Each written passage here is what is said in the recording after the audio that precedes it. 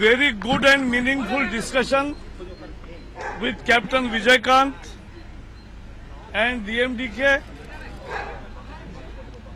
We are happy that in last 24 hours we have practically discussed with many of our allies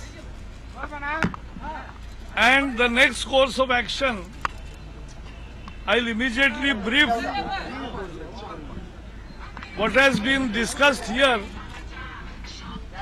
to our party president and prime minister and then we will then we will I'll come again after the budget.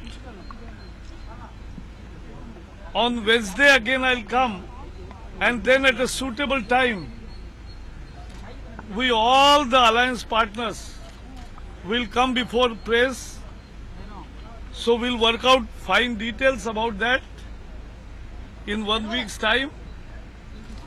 But today I had very fruitful discussion. This was actually my second meeting with captain. And I'm very happy about both these meetings. And therefore I yesterday met IJK, IPP, then NJP and AI, MMK and other outfits and some remaining outfits whose leaders were not here. Will meet again in this week itself and will complete the process. And I am very sure that Tamil Nadu deserves better what it has got for last 50 years. Though parties change, politics doesn't. And therefore, Tamil Nadu deserves a good administration like what Narendra Modi ji is giving in center.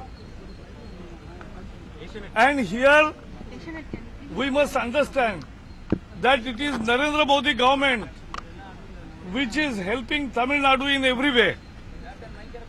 It is Narendra Modi government which is leading and helping hand to Tamilian people.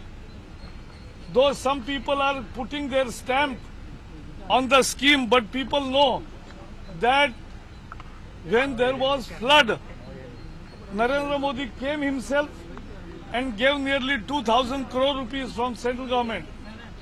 So the 5,000 rupees given to all 14 lakh people is from the central government.